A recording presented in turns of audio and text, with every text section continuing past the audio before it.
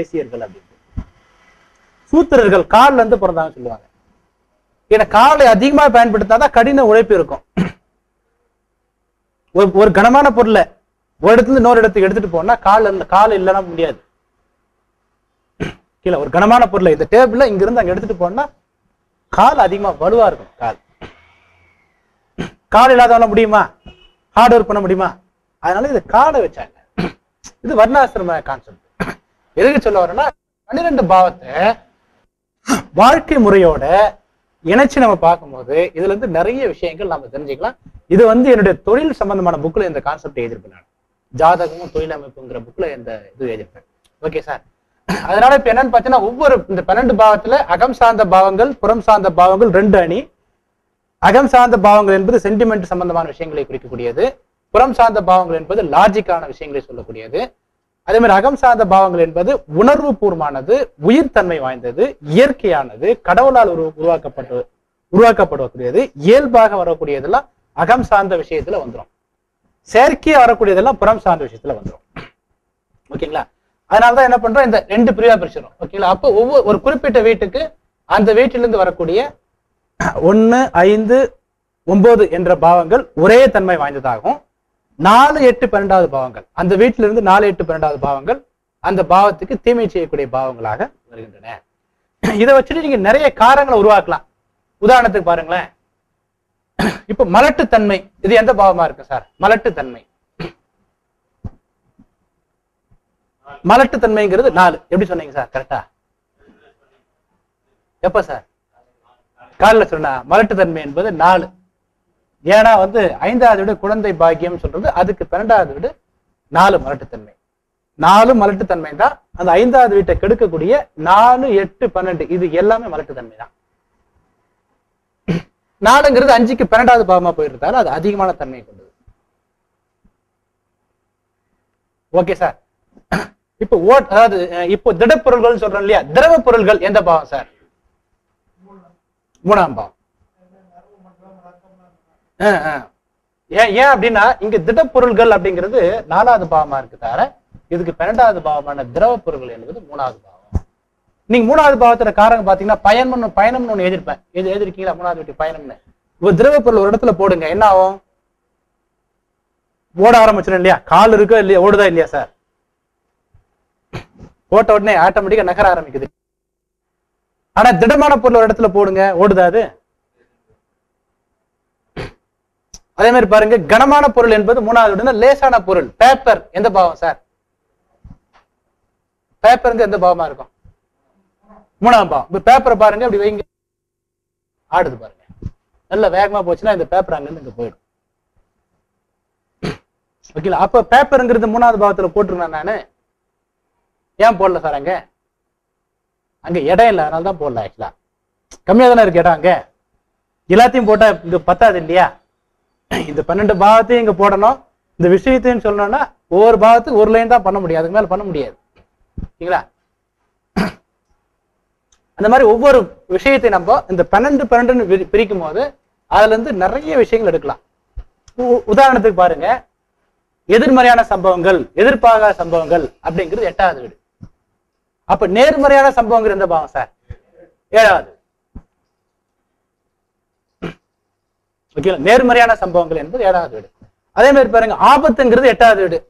ஆபத்து இல்ல ஒரு ஒரு ஒரு இடத்துக்கு போனா ஒரு பிரச்சனை வரும் அப்படின்னா நம்ம என்ன பண்ணுவோம்? தனியா போவோமா? யாருன்னா ஒருத்தர் அழைச்சிட்டு போவோமா? அழைச்சிட்டு போவோம் இல்லையா? சிங்கம் தனியா தான் போகணும்னாலும் கூட ஆபத்து வந்துன்னா சிங்கம் இன்னொரு சிங்கத்தை அழைச்சிட்டு தான் போகும்.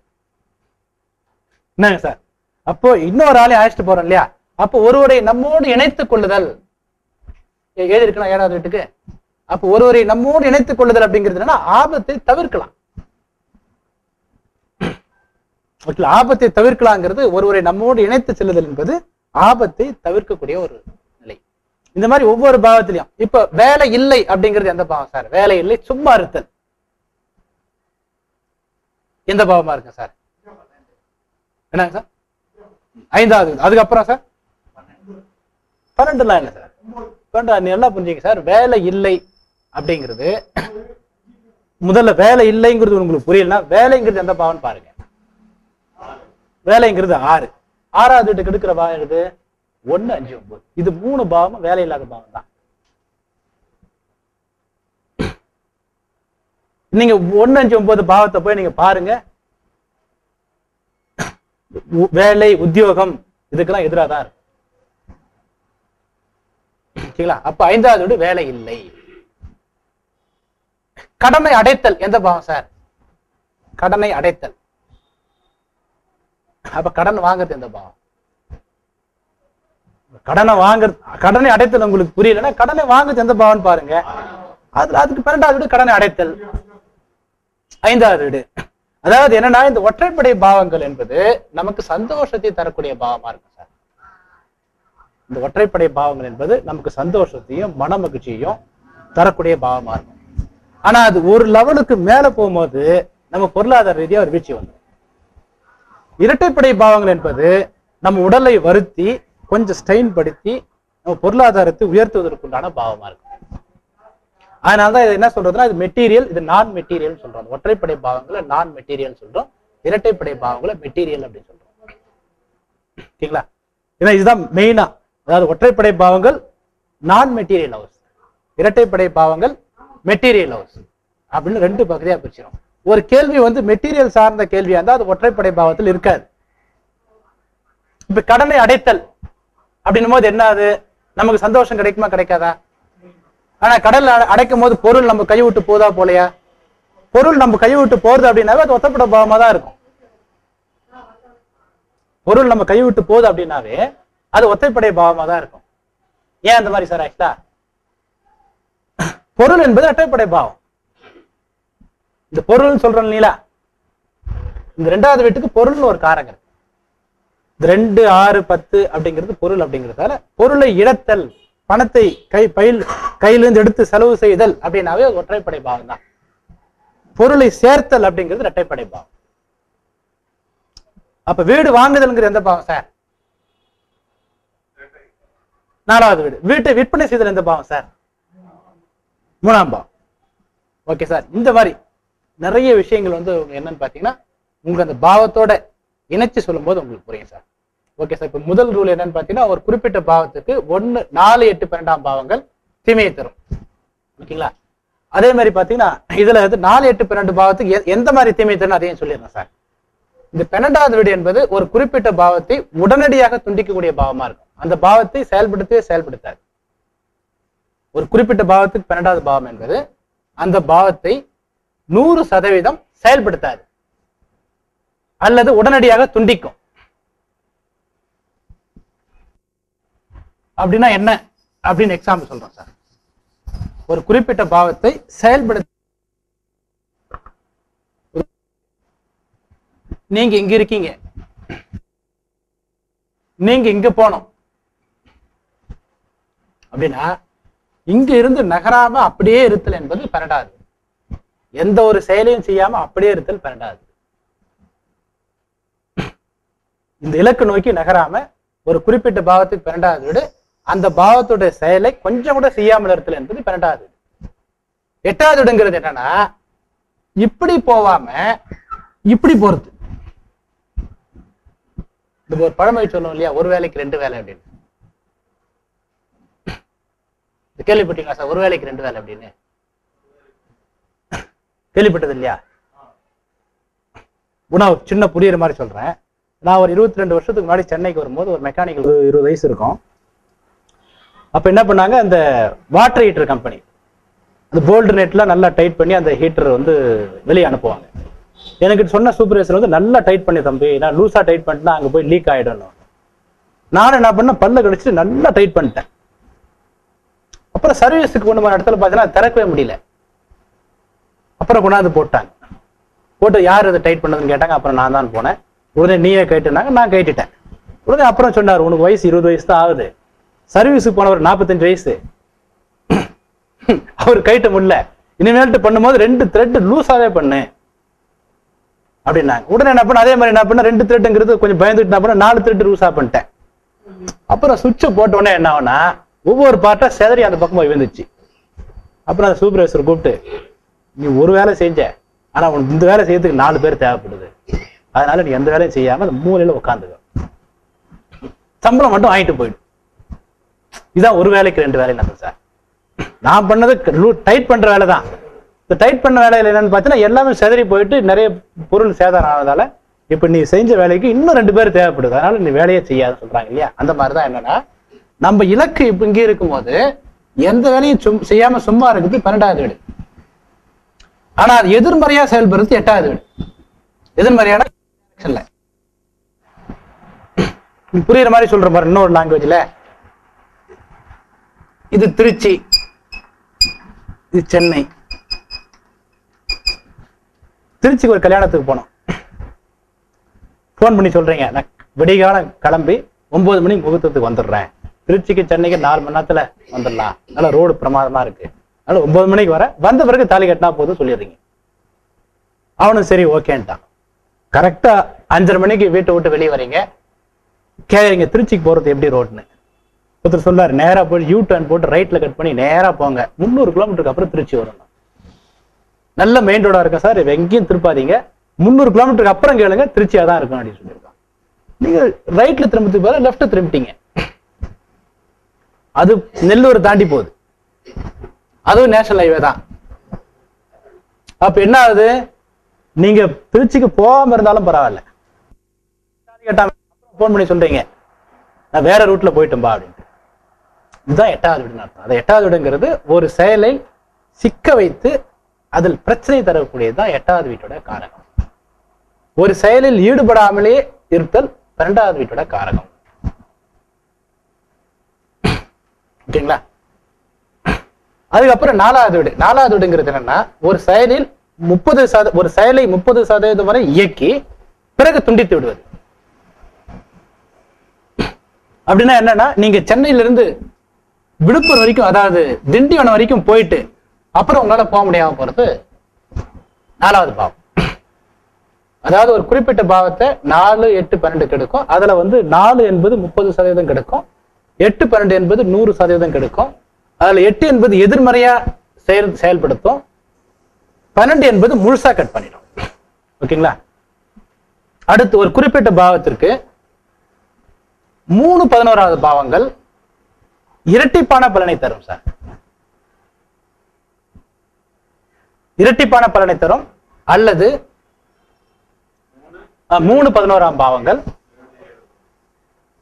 மூணு பதினொன்று சார் மூணு ஏழு பதினொன்று இல்ல மூணு பதினொன்று தான். மூணு பதினொன்று தான். இரட்டிப்பான பலனை தரும் அல்லது அந்த பாவத்தை அடுத்த பரிணாமத்து பரி பரிணாமத்துக்கு எடுத்து செல்லும். அடுத்த பரிணாமத்துக்கு அடுத்த இந்த பரி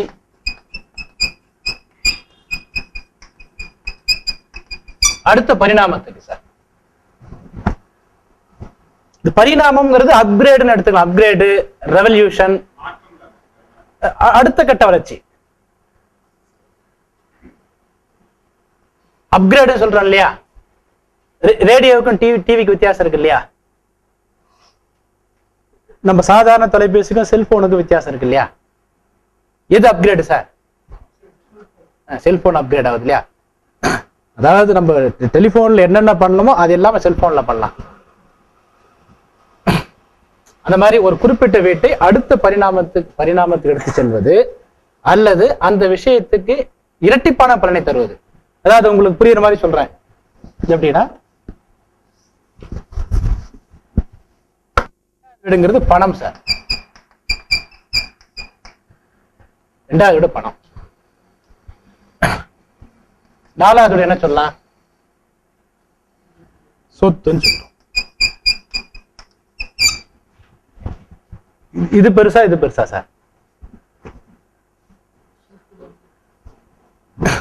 என்னங்க சார் சொத்து தான் பெருசா ஏன்னா இது அதிகமான இதுவா மாறிடும். புரியுதா பாருங்க இந்த பணம் அதிகமாகும் போது அது சொத்தாக மாறிவிடுகிறது. பணம் அதிகமா தானே மூட்டை கட்டி வடிவ வச்சிருப்போமா? ப்ராப்பர்ட்டி தானே வாங்குவோம் நம்ம. இல்ல ரெண்டாவது வீடுங்கிறது என்னன்னா கரெக்டா ரெண்டாவது வீட்டை நீங்க கரெக்டான டெஃபினேஷன் தெளிவா சொல்றோம்னா ரெண்டாவது வீடு என்பது வாழ்க்கையின்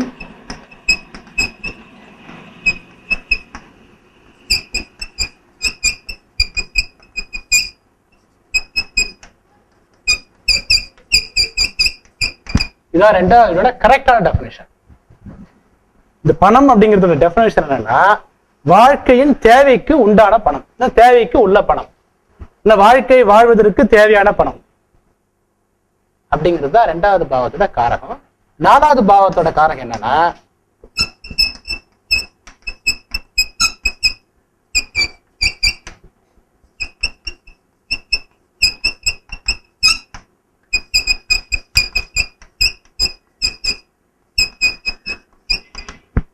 வாழ்க்கையின் தேவைக்கு அதிகமான பணம்.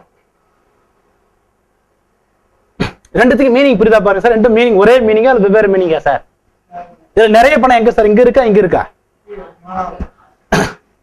அதனால அதனாலதான் ஒரு குறிப்பிட்ட பாவத்துக்கு மூணாவது பாவம் ஏன்னா இந்த வீட்டுக்கு இது மூணாவது பாவம் தானே? போட்டு பாருங்க.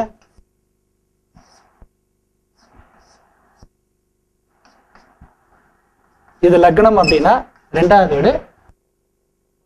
ரெண்டு மூணாவது வீடு. நாலாவது வீடு தானே? போகுது இல்லையா? அப்போ ரெண்டாவது வீடுங்கிறது வாழ்க்கையின் தேவைக்கு உண்டான பணம்ங்கிறது. நாலாவது வீடு வந்து வாழ்க்கையின் தேவைக்கு அதிகமான பணம். தேவைக்கு அதிகமான பணம். இன்னும் உங்களுக்கு நல்லா தெளிவா புரிய புரிய புரிய வைக்கணும்னா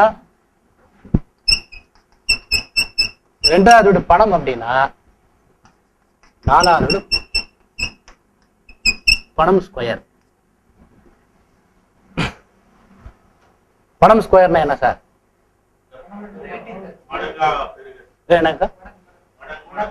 மடங்கு மடங்கா போறது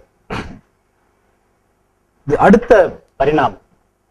தேவைக்கு அதிகமா ஒரு பாவத்துடைய வலுவை குறிக்கக்கூடியது அந்த பாவத்துக்கு மூணாவது வீடு.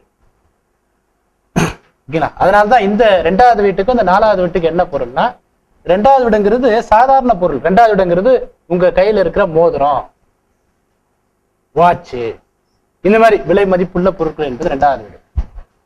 நாலாவது இடங்கிறது கனமா இருக்குது. அதாவது பொருள் அப்படிங்கிறது ரெண்டாவது வீடு. பொருள் அப்படின்னா ரெண்டாவது வீடு. இந்த பொருள் அப்படிங்கிறது என்னன்னா நம்ம சுமக்கக்கூடிய பொருள் நம்ம சாதாரண எடுத்து செல்லக்கூடிய பொருட்கள் அப்படிங்கிறது ரெண்டாவது வீடு. நாலாவது வீடுங்கிறது